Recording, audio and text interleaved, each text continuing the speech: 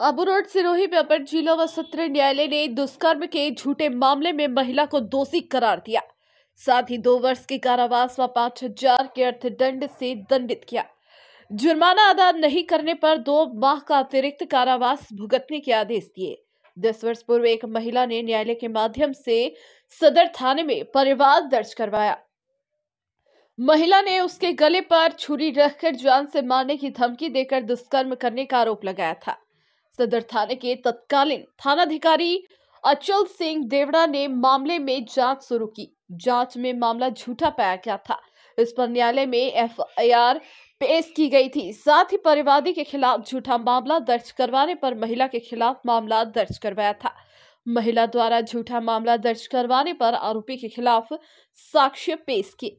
Public prosecutor Haseeb Ahmed Siddiqui की ओर से पाँच गवाहों के बयान दर्ज करवाए गए, साथ ही साथ दस्तावेजों को प्रदर्शित करवाया गया। सिद्दीकी ने महिला द्वारा झूठा मामला दर्ज करवाने पर आरोप के खिलाफ साक्ष्य पेश किए, जिस पर अपर जिला व सत्र न्यायाधीश ग्रीष्मा शर्मा ने एपीपी के तर्कों से सहमति जताई।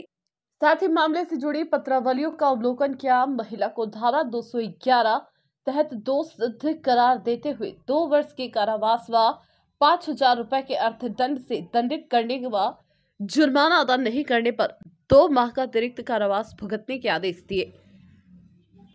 संख्या दो, मैडम श्रीमती ग्रीष्मा शर्मा ने भारतीय दंड संहिता धारा 211 आईपीसी के तहत एक महिला को बलात्कार का झूठा मुकदमा दर्ज कराने के आरोप में विचारण के बाद सुनवाई करते हुए दोषी करार दिया, उसे दो वर्ष के कारावास और पाँच हज़ार रूपए के अर्थदंड से दंडित किया है।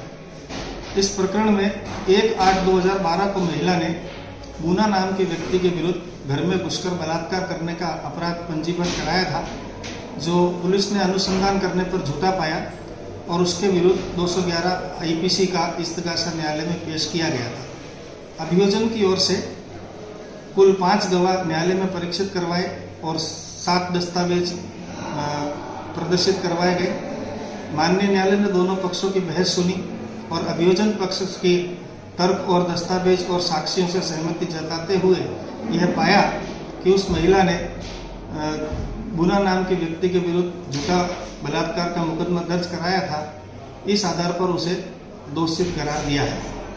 न्यायालय ने अपने निर्णय में यह भी माना कि इस तरह के झूठे मुकदमे दर्ज कराने से किसी भी व्यक्ति को सारी ज़िंदगी का एक ऐसी पीड़ा मिलती है जिसका कोई निदान नहीं होता और उसकी सामाजिक प्रतिष्ठा भी धूमिल हो जाती है। मेरा ऐसा मानना है कि इस आदेश से समाज में एक संदेश जाएगा कि भाई झूठे मुकदमे दर्ज नहीं कराने चाहिए, वरना जो सजा का प्रावधान है तो दंडित भी हो सकते हैं। तो समाज में, सोसाइटी में कुछ जो लोग इस तरह कभी कभी झूठा मुकदमा दर्ज करा देते हैं, उस पर काफ़ी हद तक अंकुश